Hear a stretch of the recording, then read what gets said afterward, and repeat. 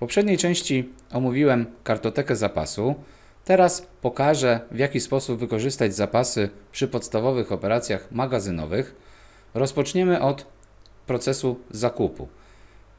W procesie zakupu w systemie Dynamics kluczową rolę odgrywa zamówienie zakupu. Przejdźmy do zakupów, przetwarzanie zamówień, zamówienia zakupu.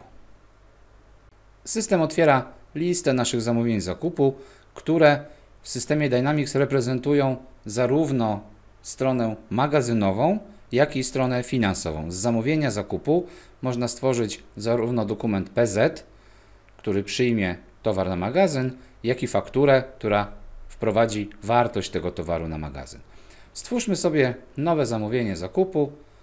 Pokażę w jaki sposób obsługiwać. Wybieramy dostawcę. Gdy wybierzemy dostawcę na zamówieniu, podpowiedzą się wszystkie informacje dotyczące jego kartoteki, czyli nazwy oraz wszelkie warunki dotyczące zakupu, czyli adresy dostaw, grupy księgowe, warunki płatności czy wymiary. Możemy przejść do wierszy. Rozszerzę, żeby było więcej widać. W wierszach w typie określamy, jakiego rodzaju będzie to transakcja. Jeśli będzie dotyczyć zapasów, to wybieramy zapas. Możemy też użyć konta KG.